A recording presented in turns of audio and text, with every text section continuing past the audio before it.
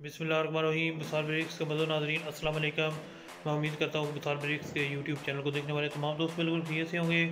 मज़ो दोस्तों, आपके लिए ताज़ा तरीन अपडेट्स लेकर हाज़िर हैं। कल राजनपुर में और ज़िला शेखपुरा में महकमा इन्वायरमेंट ने कार्रवाई की है और मुख्तलिफ़ भट्टों पर जाकर भट्टों में पानी डाल दिया है और, राजनपुर में तो भट्टों वालों का सामान भी महकमा इन्वायरमेंट ने जब्त कर दिया है। इसके बारे में आपका क्या ख्याल है? आप हमें कमेंट्स में लाजमी बताइएगा। वीडियो आपको मेरे बैकग्राउंड में नज़र आ रही होगी। आप वीडियो को मुकम्मल देखें और उसके बाद हमें कमेंट्स में लाजमी बताइए बताइए कि महकमा इन्वायरमेंट ये ठीक कर रहा है या गलत कर रहा है। तो इस तरह के अपडेट्स के लिए आप हमारे चैनल को सब्सक्राइब कर लें।